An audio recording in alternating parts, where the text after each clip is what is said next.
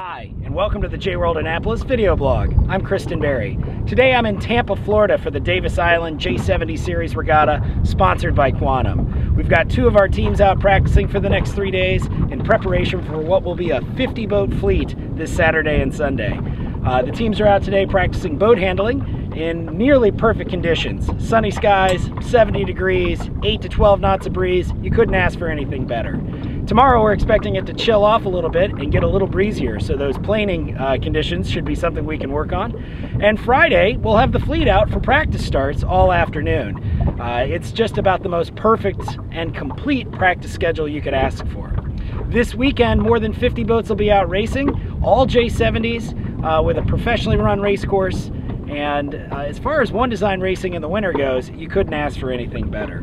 Uh, stay tuned for more. We'll be documenting each and every day that we're down here and trying to talk a little bit about the focus as well as allowing you to hear from both the students and some of our competitors. Uh, in fact, last night I had the opportunity to talk to one of the regatta organizers uh, who told us all about it. So let's check out what, have, what Kat had to say. Uh, my name is Kat Robinson Malone. I am, I guess you'd say, I wear many hats at the yacht club. Um, I started out about 11 years ago here, not knowing anything about sailing, and picked up was pickup crew, and then I decided to buy a laser, and then I met my husband, who was a sailmaker and a sailor, and then we bought a J24, and then from the minute I joined the yacht club, um, they were like, "We need you to do stuff." So I did the log, then I became a co-captain, a race official, fleet captain, rear commodore, vice commodore, first woman commodore, and then I've run every regatta, I guess you'd say, or had a part in it. I don't know how to say no, and when I'm volunt, well, voluntold, I just say yes. So, um, and I, I really love one design racing. Um, the heart of our club and the mission of our club is to promote sailing in all its forms um, and to foster a spirit of good uh, fellowship and helpfulness on the water. And so as as a volunteer and as a racer and a sailor and a boat owner, I want to go to a place like this. And so we kind of built this in, in the image of, of the of the ideal race venue. Now we are not blessed with, you know, crystal clear gin um, colored water. Um, we do have some interesting, I guess you'd say interesting dynamics out on the water. So we can't do much with that sometimes, unfortunately, but we can do a lot with the club and the volunteers that we have. And so, all the days that I've. So why do you think this is a good venue for a big J70 event? I think when, when we first were approached by the class, and it really comes down to that the class is made up of a lot of people who've been here with other boats, whether it be Lightnings, uh, J24s, J22s, Flying Scots, Melges 24s we had a lot of people that kept coming down here um, in One Design Racing, and a lot of the fleet reps and the directors and presidents, they would always approach us and say, would you be interested in doing a nationals? Would you be interested in doing this? We always are, but it really kind of comes down to figuring out how we can best serve that population.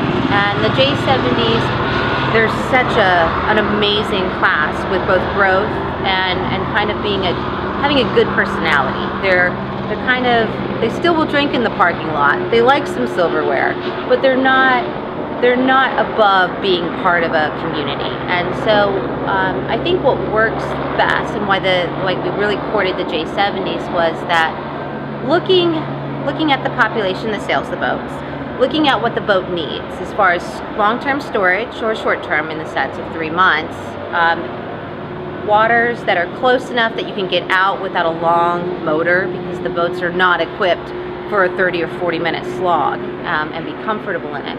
And at the same time, a class and a community that would understand that we don't have tennis courts and we don't have ponies and we're probably not, you're probably not going to see a flag officer in a blue blazer. You might. Um, but that it's going to be kind of a down home regatta and I think it works.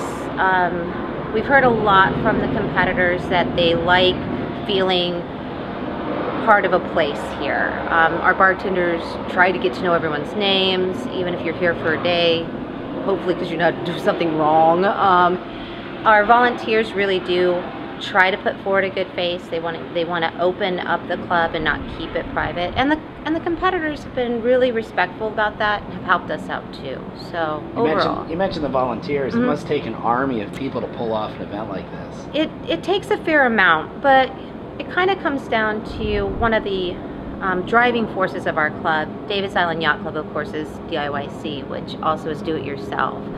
Uh, we really place a high premium on volunteerism, and so um, as far as our membership goes, everyone is kind of tasked or kind of emboldened with the desire to give back more than they, they take. So we have a good good number, but it's probably anywhere from our core group's about five to ten people, and then we have about 20 to 30 people that come in and out um, for some of the you know kind of hands-on stuff, and then we have I would say, you know, anywhere from 50 to 100 that might come and do an hour or might, you know, just be down at the bar to say, hey, how are you doing? Yeah. You know, like here's some local knowledge, even if you don't want it, or you might do, you might want it.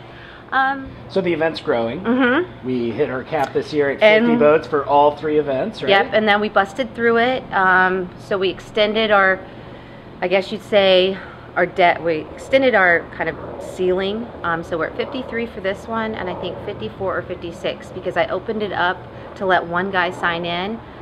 Um, and two people snuck in while it was opened up, and of course we're like, okay. So I do think, um, and that's something that has always been one of our concerns, is we want to make sure it's still good for everyone. So I think next year we're looking at a 60 to 65 cap.